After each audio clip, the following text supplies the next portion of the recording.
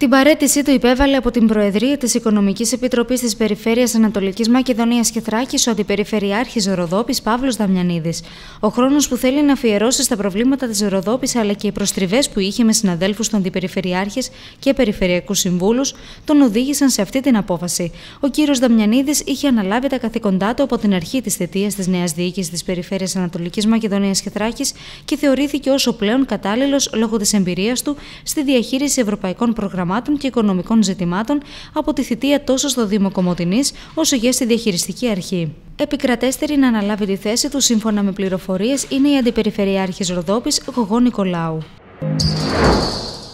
Συνάντηση με τον πρίτανη του Δημοκρίτου Πανεπιστημίου Θράκης Κωνσταντίνο Ρέμελη και τον πρόεδρο του Συμβουλίου Διοίκησης του Πανεπιστημίου Παναγιώτη Παναγιωτόπουλο είχε στο γραφείο του ο Δήμαρχος Κομωτινής Γιώργος Πετρίδης. Κατά τη διάρκεια της συνάντησης συζητήθηκαν θέματα που αφορούν στο Πανεπιστήμιο, όπως διαμορφώνονται με την εφαρμογή του σχεδίου Αθηνά. Παράλληλα, ενημέρωση έγινε για τις πρόσφατες επαφές με την ηγεσία του Υπουργείου Παιδείας που είχε η διοίκηση του Δημοκρίτιου, καθώς και τα θέματα της συνεργασίας που υπάρχουν μεταξύ Δήμου και Πανεπιστημίου, για τα οποία συμφωνήθηκε να συνεχιστούν και να αναπτυχθούν ακόμη περισσότερο.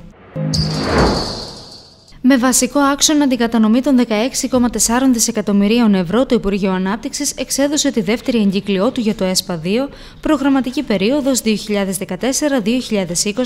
δίνοντας ουσιαστικά ασφικτικές ημερομηνίες σε περιφέρειες και Υπουργεία ώστε να αποστείλουν αναλυτικά τα σχέδια για τις προτάσεις τους, καταληκτική ημερομηνία η 13η Μαου. Από τους φορείς, το Υπουργείο Ανάπτυξης ζητεί να λάβουν υπόψη τους κατά την κατάρτιση των προτάσεών τους στο πλαίσιο του ΣΕΣ 2014-2020,